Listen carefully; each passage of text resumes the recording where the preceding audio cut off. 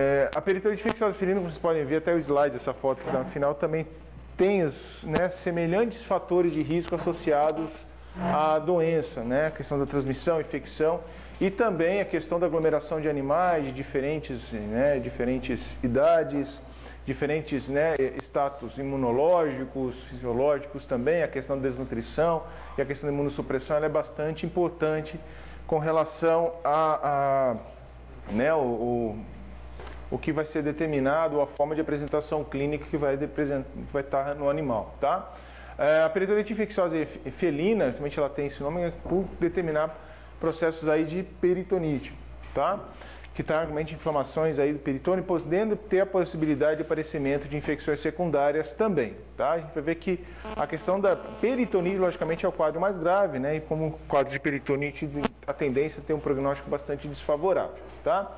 Assim como as outras enfermidades que a gente já falou, tá? infectam tanto felinos domésticos, né, gatos, como também selvagens, tá? Entre os animais selvagens, o guepardo, ele é o animal mais susceptível, né? Ou seja, não está relacionado muito à fauna aqui brasileira, mas tem uma alta suscetibilidade ao vírus, podendo também ser um dos, um dos animais reservatórios do, do vírus, tá? Do, do, coronavírus felino, aí o vírus da peritonite infecciosa felina, tá? O primeiro relato que aconteceu foi na década de 60, justamente envolvendo gatos aí, visto de uma aglomeração de animais, é, e apresentaram né, diferente, uma, variedade, uma variedade muito grande da questão de sinais clínicos desses animais. Isso fez com que né, é, fosse, logicamente, despertou interesse, né, tanto só, só dos clínicos, como também comunidade científica, e aí vi, fizeram essa relação da presença, né, identificação do coronavírus felino com essa doença. Tá? Isso foi um fato que assustou praticamente é, na década de 60, que foi progredindo. Na transmissão viram que era um vírus onde tinha uma facilidade muito grande da questão da transmissão e tinha o fator ambiente, tem muito, né, muita influência na questão da transmissão. E a gente vai observar que justamente a forma de eliminação e excreção do vírus favorece a questão da, também da transmissão, tá? Isso se deve também, esse aumento progressivo, à maior domesticação também dos animais. Né? Então a gente tenta, tenta mudar, né, com base no comportamento desse animal, como também o ambiente que esse animal vive. Né? Já que um tempo, já um bom tempo para cá, né, os gatos passaram a ter muito mais tempo dentro de casa, né, inclusive a gente abordando até a questão sanitária né, dos animais, aí, a questão também dos dejetos, também isso é bastante importante, né, já que essas caixas de areia acabam concentrando bastante o vírus, tá, já que o vírus ele é eliminado em grande concentração pelas fezes do animal. Então, quando você tem uma aglomeração de animais, você utiliza esse tipo né, de ambiente local, também para ocorrer né, depois das fezes do animal, logicamente que aqui acaba concentrando, e não somente de um animal. Né? Quando você tem mais animais na casa, acaba sendo aquilo ali a fonte de infecção. Tá? Então, com essa domesticação, mais maior proximidade também e maior quantidade de animais num ambiente menor, né? então está relacionado com a densidade é, de animais né? com, aí na, em determinado espaço e também acaba sendo um dos fatores aí predisponentes a ter ou não maior infecção. Tá? Então, justamente pela questão das fezes aí acaba sendo o principal problema, tá bom? Quanto maior a densidade, por isso que eu falei, coloquei aquela foto né, no início aí do slide, apresentação, justamente por ser maior aglomeração de animais tende a você ter maior prevalência da doença, tá? Já que eles muitas vezes têm um contato pelo mesmo ambiente, se alimentam da mesma fonte, né, a água também, então tudo isso está associado com o aumento da morbidade também da doença. Quanto mais animais, maior a predisposição, maior a infecção também, tá? Isso está associado, tá? E o grande problema da peritonite infecciosa equina, equina ó, felina, apesar né, da, da, de, de, a maior parte dos casos ser uma doença subclínica, tá, onde o animal, mesmo apresentando sinais clínicos, ele continua eliminando o vírus, continua sendo um transmissor da doença, uma fonte de infecção, é que nos animais onde você tem apresentação clínica, está muito associado a animais imunossuprimidos. E uma vez iniciado o processo de infecção, a instalação da infecção e a manutenção dessa infecção no animal, ela é muito frequente. Tá? Isso gera muitas das vezes uma alta mortalidade, né? sendo que a peritonite infecciosa felina ela é a principal causa de morte, né? fruto vindo de uma doença infecciosa em felinos. Tá? É, hoje na comunidade científica, como também né, né existem vários é, é, é, grupos de estudo também, não só no país pela capacidade patogênica do vírus, mas especialmente em decorrência de elaborar medidas né, de prevenção contra a doença. Tá? Então existe uma variedade de, de, de, de, tanto tratamento de suporte como também formas aí de, de implantação, né, de medidas preventivas que possam diminuir o caso. Tá? Há autores, há pesquisadores que justamente afirmam que não há como impedir o contato do animal com o vírus, com o coronavírus felino causador, tá? da peritonite infecciosa felina. Então, há uma, qual é uma das principais estratégias que visam a, a diminuição dessa morbidade? Né? Quanto mais postergar, né, adiar o contato desse animal com o vírus, melhor né? já que é um vírus de uma infecção é totalmente dependente com relação ao sistema imune do animal. Então, o grande problema justamente está nessa no desenvolvimento da resposta imune do animal. Então, quanto mais, mais velho esse animal tiver, mais idade ele tiver, menor é a predisposição de infecção. Então, o perigo justamente está do nascimento até semanas depois ao desmame ou completa, o completo desenvolvimento do sistema imune do animal. Tá? A gente vai observar, falar bastante com relação a isso. Tudo bem? Então, o agente etiológico né, da peritonite infecciosa felina, ele é o coronavírus felino. O coronavírus é da família Coronaviridae, pertence ao grupo 1 dos coronavírus, são, são vírus aí que infectam né, animais domésticos. Tá? E pela similaridade é, com que se tem, ele foi classificado ao grupo 1 também, graças à similaridade que ele tem com o vírus humano, né, chamada síndrome aguda respiratória humana, tá? que é o famoso SARS, tá? o SARS coronavírus, que é responsável por infecções respiratórias, principalmente na Ásia, né, já no ano de 2008, 2009, isso aconteceu. Então, pela similaridade com relação à estrutura e também genética, ele está associado aí, foi classificado no grupo 1 dos coronavírus, tá? Ou, for o gênero, você vai ver em alguma literatura, é, classificam como alfa-coronavírus também, tá? Então, são vírus envelopados, pleomórficos, né, em torno de 80 a 120 nanômetros, é entre os vírus RNA que possuem maior, né, uma seria maior é, é, é, genoma de RNA entre os vírus RNA são os coronavírus, tá? E o primeiro problema relacionado aos coronavírus estão aí, e que também indutor aí de anticorpo, a gente vai ver que tem toda uma relação com a resposta imune também. Então, os sítios né, antigênicos do vírus geralmente são as glicoproteínas do envelope. As proteínas S, que são essas amarelas aqui, as, né, as chamadas espículas, né, S de spike, e HE, que é hemaglutinina esterase, que são essas proteínas em menor número aqui, que tem menor projeção, tá? Que tem capacidade hemaglutinante também do vírus. Tá bem? E o material genético é uma fita simples de RNA polaridade positiva, então o ciclo replicativo também ele é bastante otimizado em decorrência da característica do RNA também. Tá? Então, o animal ele acaba produzindo uma grande quantidade de vírus e isso facilita na questão da eliminação do vírus e, consequentemente, a transmissão. Tá? O que difere bastante com relação ao coronavírus, especialmente o envolvimento do coronavírus felino na peritonite infecciosa felina, é que em decorrência né, das suas características de genoma, ciclo replicativo, a gente está falando de vírus RNA, você tem uma variabilidade genética muito alta também. Tá? E dessa forma, essa variabilidade acabou determinando o aparecimento de diferentes tipos de vírus que têm diferentes atividades biológicas. Tá? E dessa forma eles são classificados em dois biotipos, tá? O coronavírus, o mesmo coronavírus felino, ele pode apresentar dois biotipos.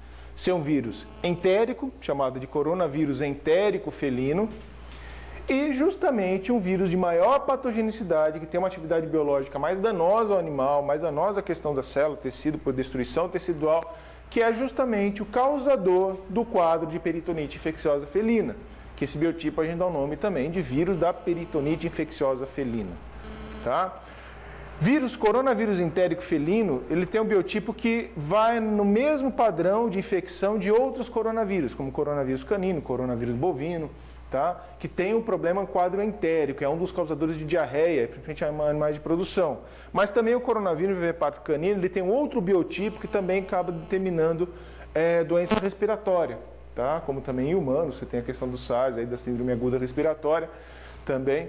E, e você, né, é, e, e, com isso você também tem uma predisposição aí a também infecções de trato respiratório. No caso dos felinos, essa adaptação ainda não teve, eu falo ainda porque pela variabilidade você pode ter surgimento, né? quem sabe amanhã ou daqui centenas de anos.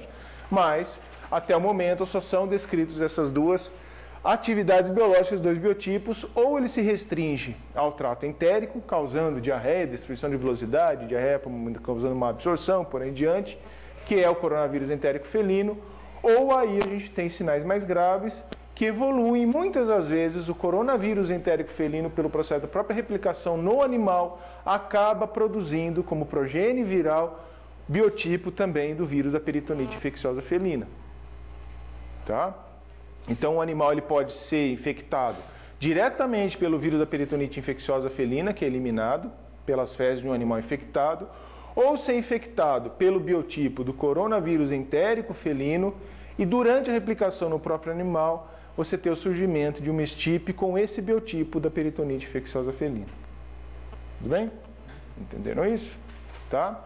E a gente vai observar que essa variabilidade também genética, que você tem como decorrência de um vírus RNA, pelo coronavírus felino, acaba determinando dois tipos, ou dois sorotipos, o coronavírus felino tipo 1 e coronavírus felino tipo 2, tá?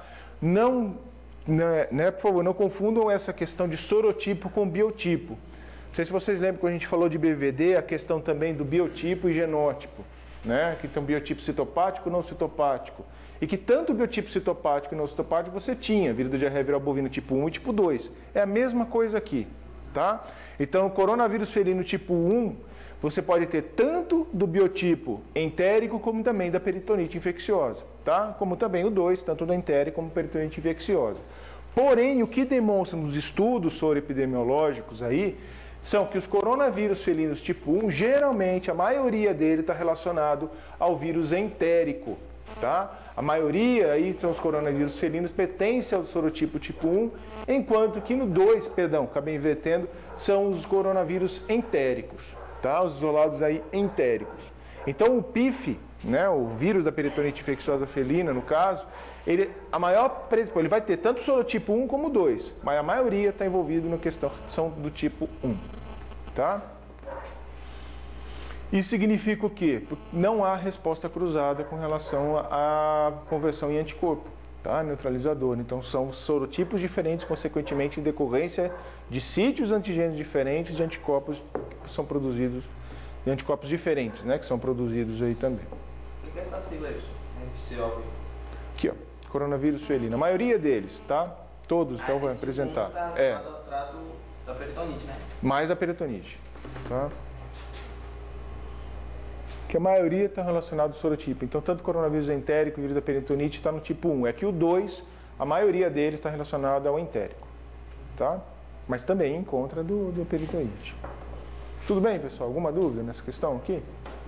Professor, então tem, pode ter duas patogenias. Sim, pode ter. Uhum. Vou passar isso, vou falar, começar a falar da patogenia. Tá? Falando só um pouquinho da, da epidemiologia, para vocês verem a questão né, do que eu citei no começo, que cedo ou tarde o animal vai entrar em contato com o vírus, tá? Primeiro pela alta prevalência. Isso daqui é um estudo que em Gatis, isso daqui é dado é, aqui no Brasil, tá? O trabalho que foi feito no Brasil, não, perdão, nos Estados Unidos, que estima-se que em torno de 80 a 90% dos animais que pertencem ou que convivem em gatis são soropositivos, tá? Então é uma prevalência muito alta. Tá? Isso daqui significa justamente acaba a gente interpreta como o quê? Como a manutenção do vírus no ambiente e a forma de transmissão constante do vírus entre os animais, tá? Isso é uma questão de transmissão horizontal, tá? Animais que você já tem em caso de residência onde apresenta um animal, essa soropositividade ainda é significativa, mas ela é reduzida em torno de 10 até 50% dos animais são soropositivos, tá? Isso aqui foi um estudo que foi feito se eu não me engano, na é, chama lá, capital, em Dallas, tá? E viram que justamente animais em residência tinham uma menor predisposição, menor prevalência, melhor dizendo, tá? A entrar em contato com o vírus da peritonite infecciosa equina. Isso daqui trata de soro positivo, não que apresentavam forma clínica da doença, tá? Ou seja, apresentavam anticorpos significando que eles já entraram em contato com o vírus. Tá bem? No Brasil, tem muito pouco trabalho, tá? O último grande levantamento com relação à soropositividade de animais foi feito em 2003 no estado de São Paulo, tá? De lá para cá, nenhum outro estudo soro epidemiológico foi realizado. Então, no Brasil, a gente tem uma incógnita para saber justamente qual é a prevalência desses, né, dos animais soropositivos tá, com relação à peritonite infecciosa equina. Esses 2% também eram restritos a animais a gatis. Tá? Então, provavelmente, a prevalência acaba sendo muito mais alta do que se espera. O problema é que não há casos, não há relatos. É, então, é muito escassos dados aí no Brasil, tá, com relação a isso aí de prevalência. Tá? Mesmo assim, o que a gente pode é, é, ter como base com relação à suscetibilidade, tá? isso já foi demonstrado em alguns trabalhos experimentais, é que raças puras têm maior predisposição à infecção do que raças mistas, tá? Que é praticamente o que ocorre na maioria das espécies de animais. Né? Animais que você já tem um padrão racial não definido, elas são muito mais comparadas resistentes, tá? Tá? comparado às raças puras. Né? Logicamente isso aí vem a miscigenação, a questão de ganho de alguns genes né? responsáveis aí por alteração de, de muitas vezes de, de defesas naturais do próprio hospedeiro, né? do próprio animal. Então isso está relacionado. Tá? E justamente são animais né? Com menos de um ano que são os mais predisponentes tá? a ter infecção. Mas geralmente a faixa ela não exclui animais adultos, então podendo ter desde animais até de seis meses de idade até cinco anos de idade também são susceptíveis e acontece a manifestação clínica também nesses animais. Tá? Aqui está envolvido não só soropositividade, mas também manifestação clínica, que é muito mais frequente quando você tem um animal mais novo, em decorrência de você não ter ainda o sistema imune dele desenvolvido. Tá? Dúvida, pessoal? Não? Que pessoal daqui está tudo risonho desse lado aqui do lado direito. Nada? Então vamos lá. Falando, gente, qualquer coisa que vocês falam, tira atenção. Estou vendo isso aqui já um monte de vezes. Vocês falam qualquer outro assunto, é lógico, qualquer um que vai chamar atenção. Bom, continuando só. Transmissão, né? Então a inscrição viral ela tem uma alta titulação que determina muitas vezes a manutenção do, do, do, vírus por meses no ambiente, tá? E essa manutenção justamente se deve em decorrência da eliminação pelas fezes tá? do animal, onde você tem uma alta titulação, uma alta concentração viral. Então a via de infecção ela é fecal oral. Então pela contaminação de alimento, pela contaminação é, é, de água, tá? Você tem aí a, né, a ingestão por parte desses, desses alimentos, dessa água no ambiente, e aí você tem né, a porta, seria a porta de entrada pela via oral aí do animal, tá? A maior parte dos casos você tem uma doença silenciosa, na forma subclínica tá? da infecção. Então, animais saudáveis geralmente são os mais vistos em decorrência, mas são animais portadores que o vírus tem replicação, porém há um equilíbrio com relação ao sistema imune e à patogenicidade do vírus. Então, dessa forma, você tem uma replicação mais moderada, com menos dano, e dessa forma acaba mesmo assim eliminando o vírus. Então, é um animal transmissor, mas apresentando um infectado, mas não tendo manifestação clínica tá? que acaba sendo um grande problema. E esse daqui é um dos fatores justificativos aí dessa alta prevalência que se tem, principalmente em aglomerações de animais. Tá? Dúvida? Hã? Sim, todo vírus. Por, como assim? Na, questão de ficar persistentemente Ah, sim, não, não, não tem essa, essa forma, você diz de, de incorporação de material genético, essa forma, não, não tem. E a característica só é retrovírus. Coronavírus, o significativo é simples mesmo, tá? A cópia do genoma é, é completamente está relacionado a essa é, a, o genoma ele não é integrado, é forma epissomal mesmo, livre, tá? Oi, Lucas. Sim, sim. É uma doença autolimitante. E isso quando você tem um animal imunocompetente, bem nutrido, status fisiológico adequado, tá?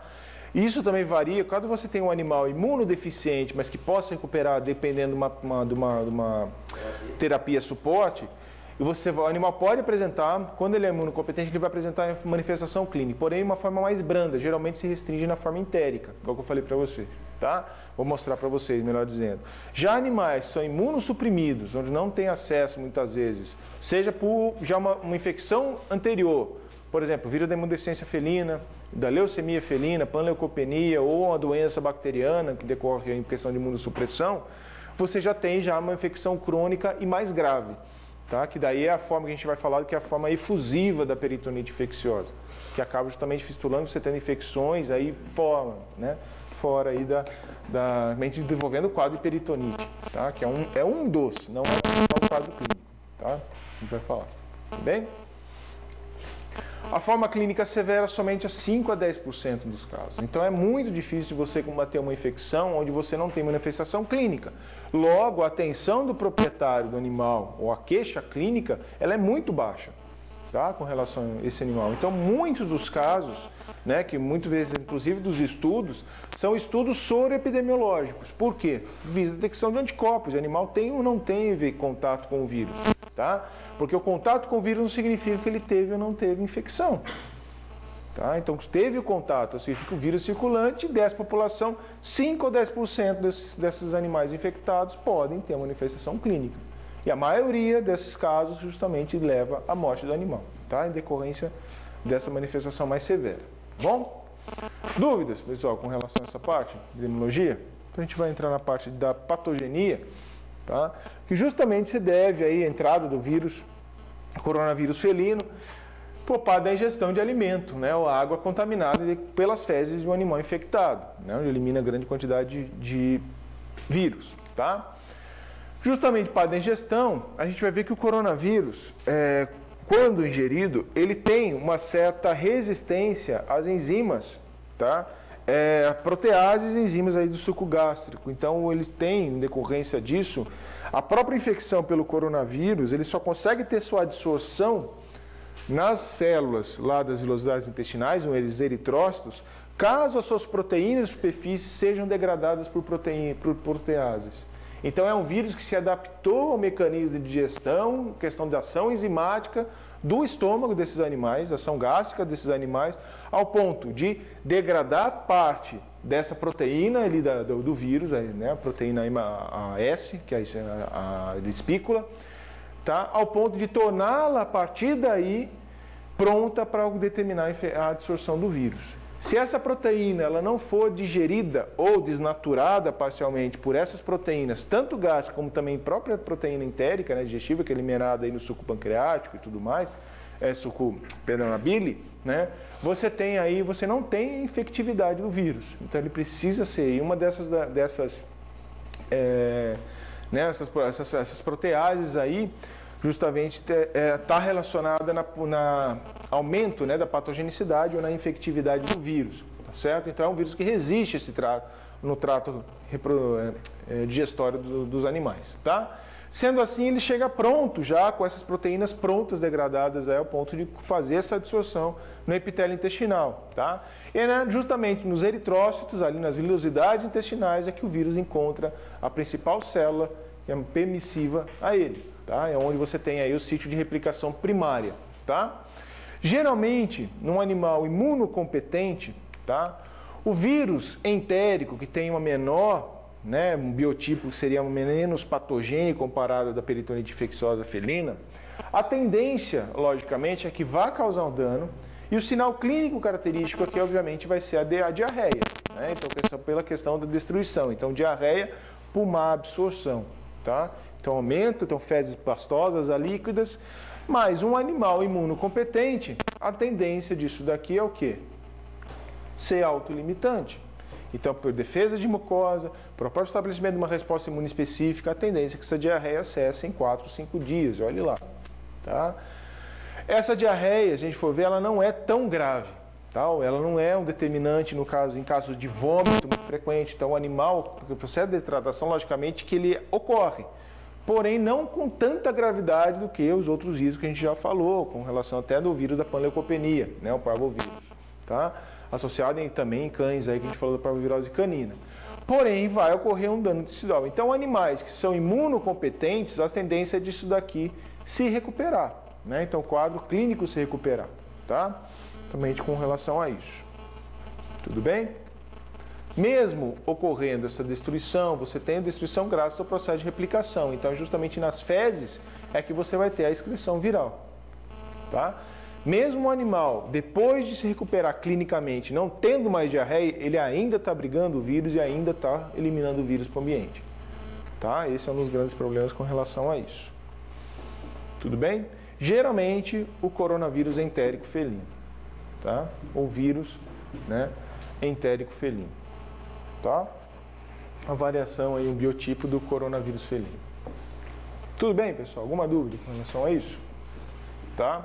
Professor, Diga. o, que causa a peritonitis infecciosa ele pode ser ingerido e já de primeira causa esse, quadro técnico. Pode, pode. Ele, vai, ele tem também predisposição para velocidade intestinal, vai causar essa diarreia, tá? A grande diferença do coronavírus entérico felino, que no caso, do vírus da peritonite infecciosa felina é justamente essa capacidade patogênica, é a patogenicidade dele. A tendência é que o vírus da peritonite infecciosa felina não fique restrito às velocidades intestinais. Então ele tem uma certa patogenicidade ao ponto de cair em corrente sanguínea e aí ser distribuído em vários órgãos. Tá? O que vai determinar essa distribuição também é o sistema imune. Animais imunocompetentes, que no caso você tenha, caso apareça né, uma estipe em decorrência da replicação do vírus entérico ou mesmo a infecção direta pelo vírus da peritonite infecciosa felina, o sistema imune ainda não tem competência suficiente, mesmo um animal imunocompetente, de limitar a infecção.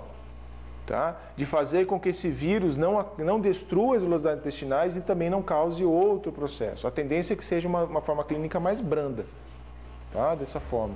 E isso acaba restringindo aí de 5 a 10% dos casos, tá? Com relação a isso. Tudo bem? O problema justamente do vírus da peritonite infecciosa felina são animais imunossuprimidos. Né? A decorrência seja de uma, né, do status fisiológico inadequado, a questão de desnutrição, desidratação, tá? Então tem uma série de problemas aí relacionados, tá? Então esse é um problema que pode estar associado. Diga, Lu. É, naquele Ah. Se o animal passa por isso aí tudo, aí é- eliminou a infecção e porventura ele tiver acesso ao já vai ter uma resposta, ele não vai deixar. né? Não, não tem o caso de uma vez já infectado, ele acaba tendo uma resposta duradoura pro resto da vida. Não, o grande problema com relação... Acontecer. Pode acontecer do mesmo jeito, tá? A tendência, logicamente, é que ele vai ter uma resposta imune específica, vai ter célula de memória, tem toda uma questão. Só que o grande problema com relação né, ao vírus da, da- do entérico, também o felino, para ocorrer uma grande resistência com relação, especificamente com relação ao sistema imune, o animal tem que ter criado uma resposta imune celular. Tá? A resposta imune humoral, ela, ela tem uma baixa capacidade neutralizadora, tanto do vírus, aqui que a gente vai falar, como também, principalmente, da peritonite infecciosa felina. Tá? A gente vai ver que esse papel tem uma importância muito grande. Esse é um dos grandes problemas também de você não ter uma vacina disponível comercialmente. Tá? Pelo menos registrado no Brasil ainda não existe. Tá? No caso de um animal imunossuprimido pegar o, Ah, o infectado com o vírus da bactéria, tá, imunossuprimido. essa vai continuar A tendência é que a diarreia ela prolongue por mais tempo. E, logicamente, quanto mais tempo, maior a possibilidade de você ter aparecimento de uma, de uma, de uma variedade, de um biotipo do, do peritonite infecciosa. Tá? Logicamente, se isso acontecer associado à imunossupressão, a tendência é que volte, evolua para a forma mais severa, que daí é a questão da peritonite. Tá? Tudo bem? Então, isso é que pode acontecer. Né? Então, essa a passagem. Então, quando você tem a formação né, de, de, da progênie viral do biotipo da peritonite infecciosa felina, a tendência é que a infecção ela não se limite a trato entérico. Tá? Então, aí cai na grande circulação, justamente em decorrência de maior permissividade de macrófagos. Essa é uma grande alteração importante que está relacionada ao vírus da peritonite infecciosa felina. É que essa nova variante viral, esse novo biotipo gerado por o vírus entérico ou mesmo adquirido de infecção natural, ele tem uma permissividade, ele vai encontrar permissividade para sua replicação também em macrófago, tá? Então, dessa forma, como que é feito, como que o vírus da peritonite infecciosa felina, ele entra, ele acaba entrando dentro do macrófago? Pelo próprio estabelecimento da resposta imune do animal. Então, a própria resposta imune é um fator que leva à infectividade pelo vírus da peritonite infecciosa felina. Tá? Tanto pela fagocitose, pela defesa de mucosa, muitas vezes que você tem ali, pelo próprio início do contato, onde o macrófago vai fagocitar na tentativa de fazer a apresentação do antígeno para estabelecer a resposta imune específica, como também o próprio fator né, efetor de uma resposta imune específica, em decorrência da opsonização, parte pela formação de anticorpos e consequente a fagocitose por parte de macrófagos. Tá? Então é no macrófago que ele também vai encontrar local adequado para poder se replicar. Tá? Caindo aí, cai na corrente sanguínea, invade diferentes tecidos, né? e aí você tem a maior distribuição em outros órgãos aí e essa replicação acaba sendo contínua nessas células, tá? Então você tem replicação constante em macrófagos, esses macrófagos também acabam depois sendo destruídos. Você tem grande liberação viral agora em corrente sanguínea e, logicamente, isso vai atrair outras células fagocíticas que vão continuar esse ciclo, tá? Tendo uma replicação contínua e a tendência é que isso evolua numa situação cada vez pior, né? Formando, costumo falar, uma bola de neve. Tá? Então, mais vírus sendo eliminado, mais macrófago, mais célula fagocítica, mais vírus sendo replicado. Tá? Dessa forma aqui. E aqui vem o grande problema, né, com relação às diferenças que quanto mais células esse vírus replicar, mais progênie viral for produzida, maior a taxa de mutação. E essa mutação muitas vezes pode estar relacionada com o aumento da virulência viral. Tá? O que, que isso significa? Aparecimento de novas formas clínicas, novos sinais clínicos. E quanto maior a virulência, pode estar relacionado também maior adaptação do vírus a diferentes tipos de tecidos. Então, aquilo que eu falei para vocês, que o vírus da peritonite infecciosa ele não se restringe a trato entérico. Por quê? Em decorrência dessa possibilidade agora que ele tem, né, desse novo biotipo, tem uma, uma capacidade de replicação em macrófagos, cai na corrente sanguínea e, logicamente, vai encontrar sempre essa célula a ele para ele possa infectar. E dessa forma pode surgir novos vírus capazes de replicar em outros tecidos. E isso é que está relacionado à maior virulência da infecção, tá? a maior severidade dos quadros clínicos gerados. Tá? Só que o que, que vai determinar essa questão aqui, e isso acaba favorecendo ou não, é justamente a capacidade que o vírus tem de induzir uma resposta imune né? O quanto o vírus é imunogênico ou não, tá? A reinfecção, que o Lucas tinha perguntado, tá? há uma grande tendência, caso o animal apresente a forma entérica inicialmente, ou mesmo o vírus, ele sendo imunocompetente, acaba debelando essa infecção, eliminando, ele vai criar uma resposta imune, ele vai ter células de memória. Só que a maioria das infecções causadas por vírus no início, quando você tem a parte extracelular, é uma resposta imune moral, concorda? Lembram disso? Tá? E essa questão da resposta imunomoral, você vai ter células de memória que vão focar e vão ter produção de anticorpos específicos. Qual que é o grande problema com relação a isso? O vírus ele vai ser rapidamente, entre aspas, neutralizado pela ligação do anticorpo às proteínas, das glicoproteínas do envelope dele. Isso vai determinar uma forma de opsonização e essa tendência ocorre, faz, faz com que ocorra o quê? O que a gente chama de replicação facilitada por macrófagos. Já ouviram falar disso? O que, que significa isso? Já volto no slide anterior, tá? Quando você tem, aqui é outro vídeo completamente diferente, mas só para mostrar para vocês o processo, tá? No caso do animal já ter sido exposto ao vírus, ao coronavírus felino, seja ele, né, o, provavelmente, o, seja ele não, né, tem que ser o vírus da peritronite infecciosa felina, você já vai ter a formação de IgG de anticorpos específicos contra ele, em decorrência de um animal já ter células de memória, mas for caso uma resposta imune moral, tá? Então vai ter células B que vão ser em contato, vão ser estimuladas, apresentadas antígeno novamente, e essas células B você já vai ter células de memória específicas para esse tipo de antígeno. Vão se transformar em plasmócitos, produzir uma grande concentração, só que já de IgG, certo?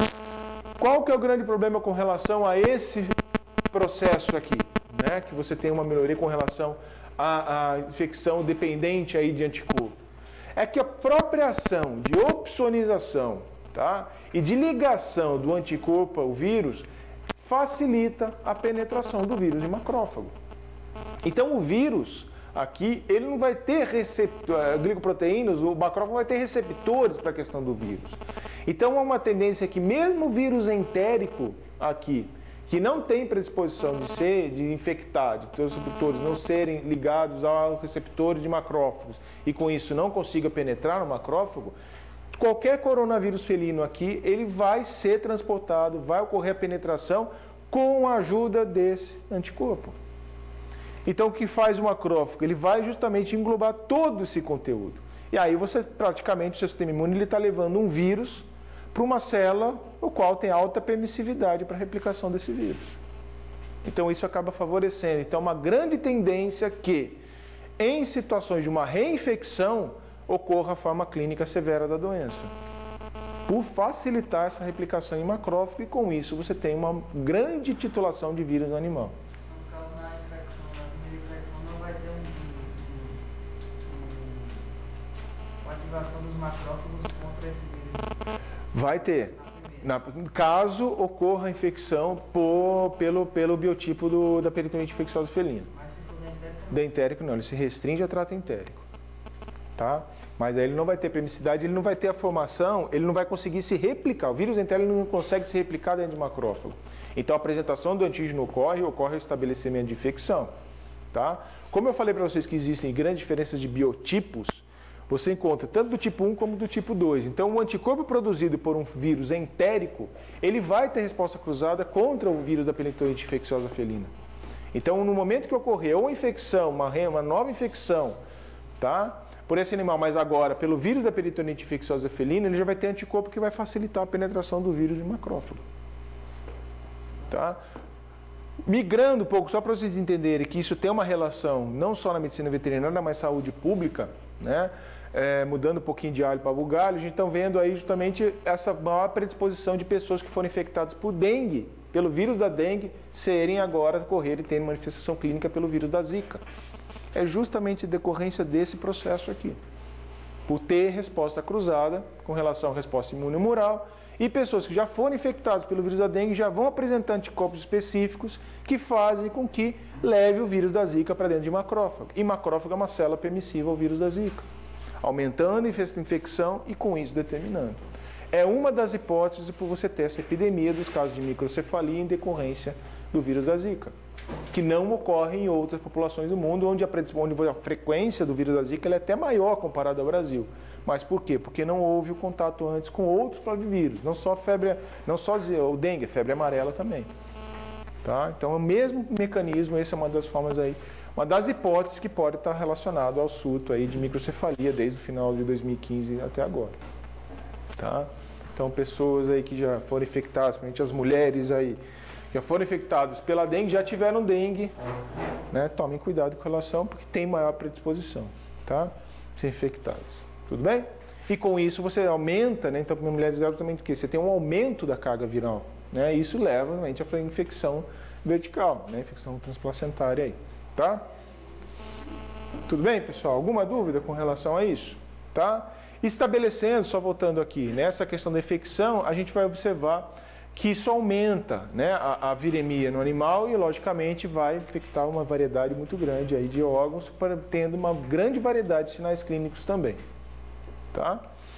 Muitas, acabei esquecendo de falar essa parte, tá? Então, uma forma mais severa, ela tem uma progressão muito rápida, que inclusive está envolvida em casos de morte súbita de felinos, tá? Principalmente de animais mais novos, onde pode provavelmente ter influenciado em decorrência dessa forma severa após uma reinfecção, tá? Onde muitas vezes acaba nem chegando a diagnóstico e entra como morte súbita, né, de causa não definida. Por isso a gente acaba colocando uma síndrome, né? com relação a isso. O multifatorial, várias causas, muitas vezes não são investigadas. Tá bem? Dúvida, pessoal, com relação à patogenia? Mundo entendeu? Principalmente essa questão do, com relação aí à, à reinfecção, tá? Então, no caso de enterite leve, né, ela é uma doença autolimitante, tá? Geralmente você tem diarreia, podendo acontecer vômito, mas são raros os casos. Tá? Dificilmente a queixa vai ser vir um animal com vômito. Tá? Filhotes, você já tem uma grande, é, é, uma maior suscetibilidade. Em decorrência, você tem ainda tecidos ainda que não são tão desenvolvidos, pode ocorrer inclusive infecção do trato respiratório superior, tá? Onde ocorre a destruição e muitas vezes até atrofia do tecido, tá? Ao ponto de permanecer sequelas, o animal realmente ter deficiências respiratórias aí por resto da vida, mas geralmente isso leva à morte também do animal, tá? Não, por infecção pelo coronavírus, tá? Por questão da adaptação. O in- coronavírus, então, foi o coronavírus felino, tá? Em animais mais jovens, tá? Em animais novos em decorrência de você não ter ainda desenvolvimento completo do sistema, por ainda ter células indiferenciadas e todo o processo. No caso, Tá. jovem, pode sair Pode, pode. Ele não se restringe muito ao trato entérico, tá? Realmente isso. Ao contrário, o vírus, né, no caso da PIF, você já vai ter sinais clínicos no início, inespecíficos, mas que a tendência é você ter uma evolução mais, mais crônica, né, mais severa também, tá? Então, sinais clínicos iniciais vai ser em decorrência até do, do quadro entérico, então perda de peso, anorexia, febre, pela viremia, né, que está sendo determinada. Isso acaba pela anorexia, perda de peso, logicamente, também está é, tá relacionado à letargia, debilidade, né, questão motor, não de problemas motores, problemas neurológicos, mas somente uma apatia que o animal vai apresentar, tá? Isso daqui são sinais iniciais, que podem evoluir para uma variedade muito grande de formas clínicas, tá? Especialmente influenciadas pela resposta imune, tá? No caso aqui, a gente vai falar a questão da resposta imunicelular, que ela é influenciada ou não, tá? O animal, para ele combater a infecção, combater o vírus ou impedir que você tenha uma progressão da infecção viral, a única forma de resposta capaz de combater e eliminar o vírus é a resposta imunicelular. Justamente por essa capacidade do vírus da peritonite infecciosa se desenvolver em macrófagos, tá? logicamente que você não tem ativação para a resposta imune imoral. Então, logicamente, esse macrófago tem que ser ativado por mecanismo da resposta imune celular, tá? Em relação a isso. Então, a gente vai chegar realmente nessas formas clínicas variáveis, que também, volta a falar, é uma minoria da questão dos casos, somente 5 a 10% dos animais apresentam essas formas severas, tá? Uma forma clínica mais severa. Ela vai apresentar de três formas, tá? As formas clínicas da PIF provavelmente vocês já ouviram falar, é a forma efusiva, onde são relacionados os casos de imunodeficiência, tá? também chamada peritonite infecciosa felina úmida, tá? o PIF úmida, tá? que realmente é a clássica, foi clássica como por ter sido a primeira forma descrita. Tá? A efusiva, vou mostrar para falar para vocês mais à frente, geralmente são animais que são imunodeficientes, onde você não tem estabelecimento de uma resposta imunodeficiente ao ponto de conseguir eliminar o vírus. Tá? Outra forma clínica também, que seria o contrário da efusiva, já que seria a não efusiva ou PIF seca. Tá? Também está relacionado à efusão, questão de líquido na cavidade abdominal, se tem ou não tem. Tá? Então, a não efusiva, peritonite seca, ela está relacionada a uma resposta imune celular parcial. Essa parcialidade que você diz não é com relação, né, falta pedaço do estabelecimento da resposta imune, não né? É com relação à intensidade. O animal ele ainda é debilitado, mas em decorrência de uma terapia suporte, o mesmo estabelecimento, com uma boa nutrição e tudo mais, o animal consegue reverter o quadro e debelar a infecção, tá? E há uma tendência de você ter sinais clínicos menos graves ou menos comprometedores, mas mesmo assim é uma forma severa da infecção, tá? Em casos esporádicos e muito raros, tá? E muito raro, você tem casos que é a forma combinada, onde você vai ter sinais clínicos da forma efusiva, como também da não efusiva. Tá? Isso aqui é muito raro de acontecer. Bom, está associado dessa questão da mutação, está tá relacionado com essa variabilidade genética, aumento ou não da virulência do vírus decorrência do CID, da replicação no animal. Tá? Isso está associado. A gente vai falar cada. Vai abordar efusiva e não efusiva. Tá? Combinado, você põe tudo junto, todos os sinais que eu falar, pode acontecer. Tá? mas é muito raro, são poucos casos que foram descritos aí. Tá bem? A forma efusiva justamente está associado, né, quais são os sinais clínicos, principal sinal clínico, a ascite. Né? A concentração, a quantidade muito grande de fluido na cavidade abdominal. Então, logicamente, você vai observar nesse animal o quê? O aumento da cavidade, né? um aumento da, progressivo do volume abdominal. Então, a tendência do animal não se recuperar, né? já que a gente está falando de animal imunossupressivo tá? com imunossupressão. Podendo até abrigar, normalmente aí foi casos que foram extraídos até um litro de líquido abdominal. É muita coisa. Logicamente, isso num caso muito crônico, né? E quanto mais tempo, maior vai ser essa CIT. Tá? Em decorrência que é de proteína, a gente vai falar, tem uma série de fatores associados aí, tá? Então a efusão pleural, né, justamente essa que determina a fosa efusiva, né, a efusão pleural, justamente se quantidade de líquido presente na, na, na cavidade abdominal, ela leva inclusive a uma dificuldade respiratória, podendo evoluir para uma insuficiência respiratória em decorrência da compressão da musculatura do diafragma, onde você não tem uma extensão da cavidade torácica.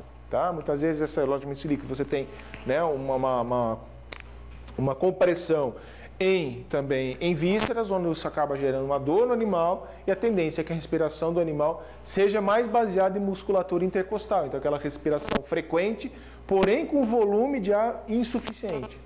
E essa é uma tendência, como você tem um aumento progressivo desse volume, dessa quantidade de líquido abdominal, a tendência é que ocorra uma insuficiência respiratória, podendo o animal chegar a óbito em decorrência desse sinal também, tá?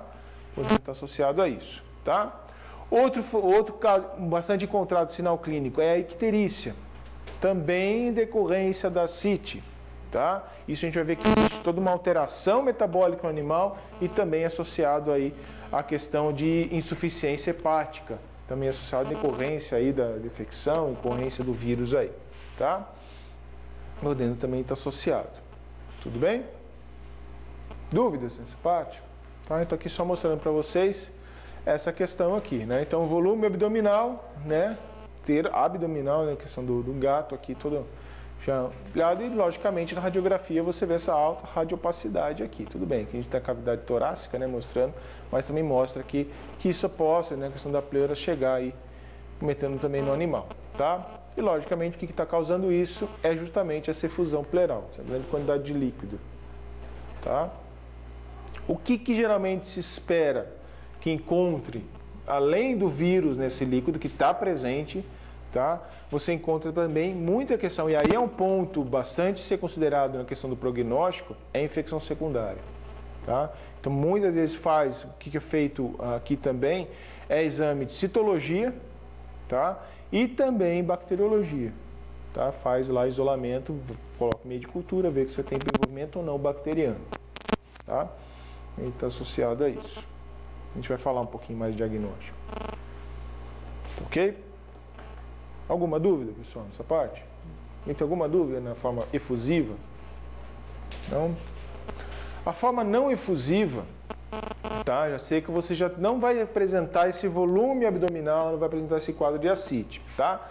A questão da forma efusiva está muito mais relacionada à viremia que ocorre no animal e acometimento de vários órgãos. Por isso que eu falei para ela, não é que ela não é não efusiva, que ela não é grave. Muitos dos óbitos estar associados, inclusive, na forma não efusiva, tá? Onde também é muito mais difícil você detectar a questão dos sinais clínicos, mesmo você tendo uma variedade muito grande, mas é menos notável a questão para você chegar no diagnóstico por meio clínico, tá? Então, você vai encontrar uma grande quantidade de lesões piogranulomatosas em vários órgãos, Tá? O que, que são decorrências dessa lesão piogranulomatosa? É justamente essa replicação do vírus em células fagocíticas. E com isso, cada vez que você tem o dano dessas células, você tem aí, atrai liberação, citocinas, toda a questão do restabelecimento, resposta imune inflamatória também, vai liberar e causar infiltração de células fagocíticas, leucocitárias, melhor dizendo, em vários órgãos. E vão formar essas lesões piogranulomatose decorrência da lesão tecidual e também da grande concentração de leucocitário no local, tá? Que pode ter ocorrido em vários órgãos, como também fígado, rim e pâncreas. E isso acaba lesionando o tecido, consequentemente vai levar a uma insuficiência da atividade do órgão, tendo insuficiência hepática, renal e pancreática animal. Como que é a sobrevida do animal apresentando esse quadro? Inviável. Né? Então, uma tendência muito grande dos casos da peritonite não efusiva, né? sem contar que isso daqui não é sinal clínico característico da infecção. Tá? São sinais decorrentes, inclusive, de neoplasias, de outras alterações, tá? de outros agentes infecciosos também. Oi, Vanildo. Mais, mais, mais. Tá? Crônica que se existe maior longevidade, né? Mas aqui é uma situação, não digo mais crônica, mas a gente coloca mais severa. Tá? Depende do órgão, depende do órgão completo. Ah. Mas em decorrência, essa em decorrência da insuficiência lesão hepática é pelas lesões piogranulomatosas. A questão é aqui é que a forma não efusiva, tanto efusiva, você tem uma replicação muito intensa do vírus no animal. E a infiltração leucocitária, consequentemente o dano causado pelo processo inflamatório é muito grande, é muito grave. Então, uma tendência de você ter uma evolução clínica em no máximo uma, duas semanas, olhe lá ainda. Tá? Chegando ao animal, você ter chegar a óbito mesmo, uma, dia para noite, óbito, lógico, em decorrência desse dano progressivo também. Tá? A forma sem efusiva ela, é, você tem mais facilidade, inclusive, de acompanhar. Né? Então, o volume abdominal, logicamente que o início é mais difícil, mais progressivo, ele vai aumentando e mais fácil de ser identificado também. Né? Inclusive tratamento, né? muitas vezes pode estar associado aqui. Como aqui já determina, não que a forma efusiva se limite ao problema de, de ascite, mas como eu falei para vocês, pode ser relacionado à icterícia, isso está envolvido também com lesão. Tá? Não é que não ocorra uma viremia, mas ocorre. A Diga. Oi, peritoneal é e abdomossintese. É, uhum. dessa mesma forma. Né? Muitas vezes você tem um animal internado, colocação até de sonda, tá? para eliminação desse líquido. Acontece E ali. tem, assim, é, ele vai aumentando progressivamente, tem casos que nem regride, né? Só- Não, não, muito difícil. Ou A tendência que se faz aí é é retirada também desse líquido. No caso, o animal que é a questão da suficiência respiratória, então ele tira, melhora a condição do animal, até dá um bem-estar maior para o animal associado à terapia. Né? Então aí também entra na questão, por você ter um líquido com um volume altamente, né, uma perda de proteína muito grande ali também, decorrência da CIT, tem que restabelecer certo um balanço hídrico, eletrolítico para o animal. Então tem que ser visto a questão do uso de determinado fluido, tem que ser bem, bem relacionado aí. Então muitas vezes o ringue lactato, pela consideração, você muitas vezes ele não é utilizado dessa forma, ou em outra fase, quando você já tem uma recuperação já mais estabelecida no animal. Tá? É bem, tem que ser bem visto isso. Tá? Na questão do, do suporte, da terapia suporte também, porque muitas vezes você pode até piorar ainda mais a situação. Né? Em relação a isso. Tudo bem? Essa questão não infusiva já teve casos, inclusive, de distúrbios neurológicos. Tá? Então, inclusive, de você ter lesão piogranulomatosa e sistema nervoso central, ao ponto de determinar sinais neurológicos no animal. Então, vocês estão vendo a quantidade de sinais clínicos que podem aparecer, e isso pode estar relacionado, inclusive, a outras manifestações, a outras doenças, inclusive. Tá? Também estão associadas aí. Tá? Um que é muito frequente são lesões oculares. Tá? O vírus, decorrente da alta viremia, ele tem uma predisposição de causar lesões piogranulomatosas também em fundo de olho. Tá? Também em esclera e também em lesões e uma opacidade do humor vítreo também. Tá? Então, o exame de fundo de olho que faz um animal, você vê humor vítreo bastante opaco, bastante né, embaçado, vamos colocar dessa forma, ao ponto de dificultar a visualização de retina, tá? No fundo de olho também. Então vai haver também compactação, colabação também de veias, artérias de fundo de olho, isso acaba danificando, logicamente, podendo causar sequelas, tanto uma cegueira, dificuldade de visualização também, tá? Aqui mostrando para vocês lesões, né, complexos, né, formados aí no humor vítreo que acabam sendo depositados na córnea, tá? Esses pontinhos aqui, ou seja, são sinais bem sutis, né, bem, assim, nada muito extremamente observado. E aqui a gente consegue, vocês notem aqui, que tem até uma forma tá bem, né, é, embaçada essa imagem aqui, né, o pago em decorrência dessa de, de, de né, forma mais embaçada aí da questão do humor vítreo, tá? E aqui mostrando colabação de algumas, até, de algumas vezes artérias aí em decorrência da lesão piogranulomatosa em fundo de olho também. Tá? Logicamente isso vai levar sequelas aí também para o animal. Tá? Ou seja, são sinais bem sutis, bem brandos aí no caso de você incomum. Tá?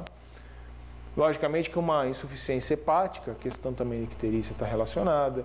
Você tem também problemas, né, geralmente no animal, questão de vômito, você tem um emagrecimento progressivo, tá? Então, muitas vezes da queixa você acaba determinando insuficiência respiratória, insuficiência hepática, insuficiência renal, justamente por levantamento, testes bioquímicos, identificação de creatinina, ureia, no caso da renal, é, insuficiência hepática pelas enzimas hepáticas, né, CT, FA, tá? Que vocês já são craques aí, né? Questão de colocar a disciplina de patologia clínica. Bem? Dúvidas, pessoal, com relação aos sinais clínicos? E a forma combinada, você pega tanto aumento de volume abdominal, questão da CIT, como também sinais aí em decorrência de insuficiência de órgãos. Tá? Dúvidas? Bom, quando a gente fala em diagnóstico, né, assim, é, a gente tem que ter um ponto, é bastante discutido com relação ao diagnóstico, até hoje não se tem uma metodologia diagnóstica específica para a questão da peritonite infecciosa equina, justamente pela varia, variedade de sinais clínicos apresentados, né? diferentes formas clínicas aí também, da questão de ser efusivo ou não efusivo. Então, o que geralmente tem uma tendência é de você associar né, um diagnóstico laboratorial específico com os sinais clínicos. Logicamente, pela visualização do animal com aumento de volume abdominal, a questão da possibilidade de você fazer um abdominocentese, né, de você retirar a parte desse líquido, analisar, investigar por meio de citologia dessa efusão pleural, onde você pode identificar bactérias e uma grande deposição de leucócitos, né, consequente aí pela alta concentração linfocitária, né, dessa migração dos linfócitos, desses infiltrados leucocitários, isso acaba sendo associado, né, uma histologia pode ser várias causas, mas associar a sinais clínicos, o histórico do animal, a evolução da doença, né, no caso, logicamente, o proprietário ele tem que ter essas informações para te basear no diagnóstico. Né? Então, uma anamnese bem feita, né, associado com a riqueza de detalhes, informações que o proprietário associar, isso acaba facilitando o diagnóstico. Né? Então, por quê? Porque só os sinais clínicos, só a questão da evolução, muitas vezes o animal ele já chega num, numa situação na clínica altamente debilitado. Né? Como você já tem já uma, uma, uma evolução muito grande. E aquilo, logicamente, emagrecimento progressivo, uma perda de peso muito grande, né? e toda essa deficiência, muitas vezes pode associar a deficiência hepática, pancreática, eu falei para vocês, uma grande situação é de você suspeitar, inclusive, de neoplasias. Isso também está associado à questão do animal. Mas como a maior parte dos casos são animais mais jovens, há uma tendência de dificultar muito a questão do diagnóstico parte do veterinário. Neoplasia geralmente se encontra em animais mais velhos, né? mas não é exceção também. Tá? Então a tendência é de associar os sinais clínicos com os dados né, aí em exames complementares, como até hematologia, questão do perfil bioquímico do animal, por aí em diante também. Tá? Há situações onde são utilizados, como eu falei para vocês, inquéritos soroepidemiológicos, né? um dos principais utilizados é a imunofluorescência indireta, também podendo utilizar a própria efusão pleural, o próprio líquido ali, né, captado ali, fazer uma imunofluorescência indireta naquele líquido, onde você vai encontrar uma alta concentração viral também. Né? Então identifica, consegue observar ali. O ELISA também é outro teste bastante rápido que facilita aí, principalmente inquéritos soroepidemiológicos, tá? Porém, aquilo que eu falo para você, exame sorológico geralmente é uma tendência, não é feito com base numa queixa clínica, tá? Porque logicamente aqui o que você pode estar associado, o animal, queira ou não queira, em determinado momento da vida dele vai entrar em contato com o vírus. Tá? Então esse é um dos grandes problemas. Então a, a, a possibilidade de dar um animal soro positivo é muito grande. Tá? Mas no caso para diagnóstico definitivo, há casos onde ocorra uma imunossupressão tão grave no animal, não isso em decorrência do vírus, mas secundária, tá? o vírus, onde o animal inclusive pode ter casos de ser soro negativo. Semelhante ao que a gente falou, por exemplo, lá no caso da leucemia felina.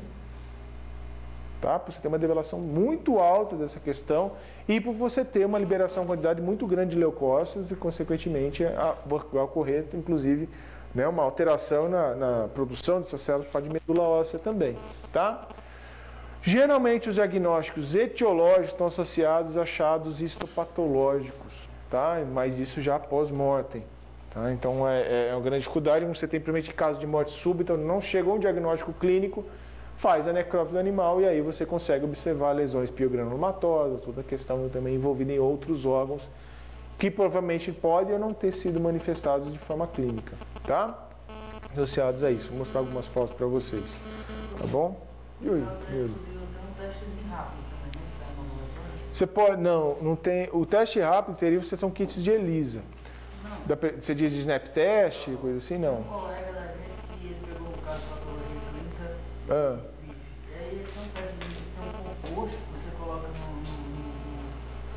Esse? Ah. Aí você pinga umas gotinhas do líquido e aí se for pife vai formar um. Assim. Não é a questão pela, justamente pela, do leucocitário? Ou pela ação do vírus? Opa. Ah, sim. É, no, é um líquido teste de hemaglutinação, não é? Não, não é de aglutinação. Como que chama o teste? Provavelmente deve ser a propriedade hemaglutinante do vírus, então. Hã? Ah, tá. Não, eu vou buscar saber. É com ácido que foi no outro laboratório. Tá. Dilui o ácido e pinga o provavelmente não sei, diagnóstico etiológico mesmo, indicação do vírus. Você pinga a do, do, do, líquido tirado da infusão e aí tá. depois o líquido pega é. Tá. Eu vou dar uma olhada. Vou dar uma olhada. Tá, eu vou procurar saber, gente. Gente, assim, eu vou ver se realmente se é teste etiológico, mas é exclusivo para PIF ou não? Não, ela- Eu acho que não. Quando desse positivo, tá-. Tá, é, ele falou, provavelmente não deve ser um teste etiológico. Isso que eu falando, não é de identificação provavelmente do vírus. Pode estar associado à identificação de fatores clínicos ou achados relacionados à bioquímica, alguma coisa composto que pode ter uma ampla relação com relação à PIF, porque a questão de ser efusivo, que não é vista em outros casos de ascite de origem não infecciosa ou de outras situações. Deve ser algo por aí. No caso, a Tá. poderia ser feita. Pode, pode, pode ser feito assim, por capacidade de hemaglutina do vírus, tá? Também, justamente pegando o líquido e você fazendo hemaglutinação, tá? É, caso, se não me engano, a hemaglutinação aqui também é feita em, de, em células, em, para de hemácia de cobaia também, tá? Para outros coronavírus é feito dessa forma, também acho que acredito ser. Eu passo depois, eu vou ver certinho essa questão desse teste, também, eu acho, que eu acho que é característica específica a questão do, da infusão, né? Mas aí eu vou, a gente vê certo, tá? A RT-PCR pode ser feita, né? A PCR base é RNA, transcriptase reversa, depois é a, a PCR, diretamente das fezes do animal, já que você tem uma grande concentração de vírus também no animal, tá? Quando estão associados a isso. Então, o parte do diagnóstico, fluorescência, a imunofluorescência, né? Decorrente da parte da fusão pleural, que pode ser ter feito fixação do conteúdo associado a anticorpo marcado, né? É, luminescente, e aí visualização e microscopia de campo escuro, tá? Mas geralmente, aí que você vê no caso de peritonite para diagnóstico pós-mortem, é justamente a patologia, né? Então, uma necrópsia, mesmo parte de estado histopatológico, tá? Mas notem aqui no caso, você tem parte, né? Toda a formação efusiva, né? mas a imagem está bem ruim, né? Então você tem lesões piogranulomatosas e vocês notem aqui o líquido, né? ó, a parte efusiva também, tá? Aqui são lesões no caso, né? O aumento do animal aqui, ele fica num aspecto gelatinoso também, decorrência da presença do líquido aí também, tá? E lesões piogranulomatosas vocês podem conseguir identificar também em rim, né? Então que leva aí uma insuficiência renal também. Aí no caso de achados patológicos, vai ver uma grande infiltração leucocitária, região cortical aqui, tá?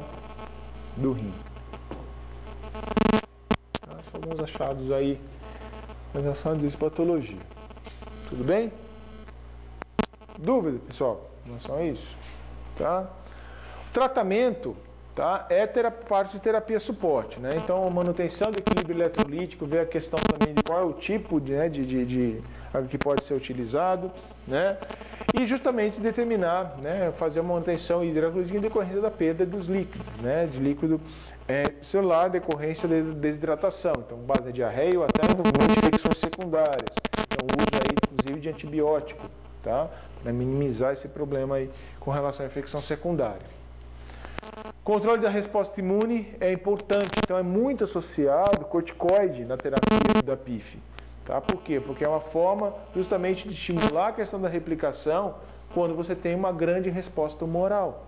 E a justamente da corticoide ela vai diminuir esse limiar da resposta imune humoral, dificultando logicamente a penetração do vírus aí em macrófago, impedindo, tendo um menor processo da, da né, dessa que eu falei para vocês, daquele a atribuição da questão da penetração é por ativação de macrófago, tá?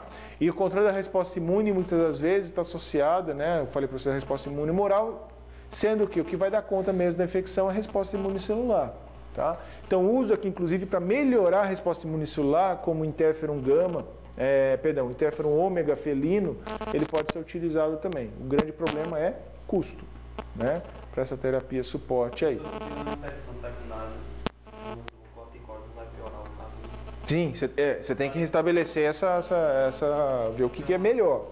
Vai com base no status que aquele animal vai estar apresentando, qual que é o perfil no clínico do animal naquele momento. Tá? Mas geralmente o que, que associa aqui? Com controle, né, de uma do corticóide, mas também com antibiótico terapia. Tá? A gente vê essa questão aí. Tudo bem? E facilitar, né? Tudo para que esse animal não entre, né? é, Não tenha uma, um comprometimento imune, uma questão assim, justamente determinando repouso, evitar estresse, né? Dietas de baixa concentração proteica, isso daqui vai estar associado, podendo piorar a questão da diarreia, a questão da dificuldade de absorção, tá? Também pode estar associado aí. fármacos que inibem o controle da inflamação, já que as lesões piogranulomatosas, muitas envolvidas na questão da, da PIF não efusiva, está associado a um dano muito grande pelas células né, leucocitárias aí, envolvidas também no processo inflamatório. Então, o uso de anti-inflamatórios muitas vezes pode estar associado. Tá? Tudo depende da característica clínica do animal no momento. Tá? Se envolve ou não. Por isso, isso deve ser estudado baseado na condição clínica do animal. Tá bom? E sempre vai ser uma doença de prognóstico desfavorável. Logicamente que vai depender quando esse animal chega né, até o veterinário para justamente estabelecer um tratamento e como vocês podem ver, provavelmente não é um tratamento que vai sair barato né, para o proprietário, então isso está muito associado nessa questão é, econômica também, tá? do custo-benefício mesmo. Tá? Isso que pode estar associado. Aqui é um quadro, esse quadro eu retirei também do Green, lá do, do, de doenças infecciosas do cão e do gato, né? eu tenho em inglês, infelizmente, é, que é a, drogas comumente utilizadas aí pra, como né, o uso para uma terapia suporte. Então a prednisolona, muito mais associados aí também né, para a questão, para diminuir, né, ter um controle da resposta imune, a questão de anti-inflamatórios, né, então a, a que está associado aí, é, uso de interferon ômega felino, tá? então pode estar associado que isso acaba estimulando a resposta imunicelular, favorecendo a eliminação do vírus também, ativação de macrófagos, uma série de fatores. Tá? E além de determinar drogas de suporte, que aí complexos vitamínicos, né? vitamina A, vitamina B, vitamina C, muitas vezes. Vitamina B tem um poder né, relacionado à questão do imunológico também, de restabelecimento, reptilização, muito bom. Né? Então, as, as vitaminas do complexo B aí são principalmente você pega aí né, a B1, B12, está bem associada aí ao restabelecimento. Tá? São quadros aí, depois vou passar esse material para vocês, tá? mando por e-mail a questão desse, desse material que tem em relação ao tratamento. Tá? Mas sim, a gente pode considerar que a peritite infecciosa equina é um dos grandes desafios na clínica de felinos, decorrência dessa variedade clínica tá? que o animal pode apresentar, os diferentes, você não tem um protocolo estabelecido de, de, de tratamento, terapia, suporte, então isso varia a questão da, do acesso a determinados fármacos, do custo-benefício, da capacidade, né, a condição que, que o proprietário tem de manter esse tratamento, tá? que também a gente vai observar aí que, que enquanto ele vai apresentar os sinais clínicos do tratamento, ele passa a ser diário, contínuo, né? É bem complicado com relação a isso. Tá bom? Dúvidas? com relação ao tratamento? Não? Terminando aí, falando só controle e prevenção, já está acabando, tá? É, o grande problema com relação ao controle é uma doença também que dificilmente a gente vai ver a erradicação da PIF, tá? Por quê? Por decorrência da alta excreção viral, tá? Então, como muitos né, é, é, pesquisadores, autores também desafiam né? E eu até faço uso das palavras dele, que uma vez na vida o animal vai ser infectado, vai entrar em contato, melhor dizendo, pelo vírus da peritite infecciosa felina, coronavírus felino. Quanto mais tempo você retardar né, esse encontro né, do, do, vírus com o animal, ou do animal com o vírus, melhor dizendo, melhor. Por quê? Porque geralmente, quanto mais tempo você dá ao organismo animal, logicamente o sistema imune vai estar mais envolvido. Então, associados de boas práticas de criação, né, de bem-estar animal, você tem aí uma grande ferramenta capaz de prevenir a infecção pelo animal ou mesmo tornar esse animal de uma forma clínica severa. Tá? Então, a predisemição está relacionada numa forma, uma estratégia de retardar essa infecção. Então, muitos pesquisadores estabelecem aí a possibilidade também de aplicar medidas de isolamento, desde ainda da geração do filhote. Então, gatas prens aí do segundo, né, na segunda ou terceira semana antes do parto, isolar ela de outros animais, né, de outros gatos aí que tenham. Por quê? Para impedir a transmissão, para que esses animais não nasçam infectados também. E esse animal, essa gata, não seja infectado. Ela não pode nem determinar a causa clínica, ela pode ter forma subclínica. Mas qual é o problema do animal na forma subclínica? Ela está eliminando vírus para o ambiente por meio das fezes. E esse ambiente passa a ser contaminado. Então, uma tendência aqui não é proteger, não tem transmissão é, é, intrauterina aqui no caso. Pode ter, mas o, o motivo não é esse. É justamente você impedir com que o ambiente fique mais contaminado ainda. Tá? Essa gata, como também os filhotes, manter elas isoladas, manter elas em quarentena, tá? Observação de sinais clínicos, desde a recuperação e tudo mais. No, fazer o desmame em torno de 4 a 6 semanas de idade. Por quê? Porque ainda está sendo ministrado a questão da resposta imune passiva. Então ela está sob interferência de anticorpo materno, até esse outro ponto com terminar essa eliminação. Tá? Vacinação, tem como ser feito? Não. Tá? No Brasil não existe vacina disponível comercialmente. Tá? Ou existe uma vacina que é fornecida nos Estados Unidos, que tem nos Estados Unidos, mas até hoje ela é motivo de grande debate, de grande é, é, é, polêmica com relação se tem ou não tem eficácia. Tá? Justamente um problema relacionado à elaboração das vacinas é que a vacina ela tem que ser uma vacina atenuada, tá? de vírus vivo atenuado. Somente dessa forma consegue estimular uma resposta imune celular, tá? Já que, lembra desse complexo aqui? Ó? É? O AD que eu mostrei para vocês que é justamente o favorecimento da infecção por meio da ativação de macrófago. Se você faz uma vacina de subunidade, você tem uma resposta imunomoral desenvolvida, você vai ter esse complemento, consequentemente você acaba intensificando a infecção, caso o animal venha a ser exposto ao vírus. Tá? Então tem que ser uma, uma vacina com resposta imune para desenvolver a questão da resposta imune celular. Tá? Então essa vacina, inclusive disponível nos Estados Unidos, ela tem com base uma certa atenuação, porém a eficácia é muito baixa. Inclusive já houve casos aí descrevendo essa atenuação, de, essa intensificação da infecção em decorrência desse auxílio ativação de macrófagos. Tá? Bem complicado isso ser feito. Quais são os estudos que estão sendo desenvolvidos para a questão da vacina? Utilização de vacina de DNA, por meio de plasmídio contendo DNA, um gene específico que vai ser incorporado juntamente essas células e o próprio sistema imune acaba desenvolvendo, estimulando uma resposta imune celular, tá? E também o uso de vetores virais, por exemplo, adenovírus, carreando um determinado gene que isso seja inserido nas células linfocitárias ao ponto de você ter uma produção específica aí também com relação à resposta imunicelular, de ativação de resposta imunicelular. Então, a imunização, no caso infecciosa felina, ela tem que ser a resposta imunicelular para que não exista essa possibilidade de intensificação por meio da ativação de macrófago. Tá? Mente para isso. Tudo bem?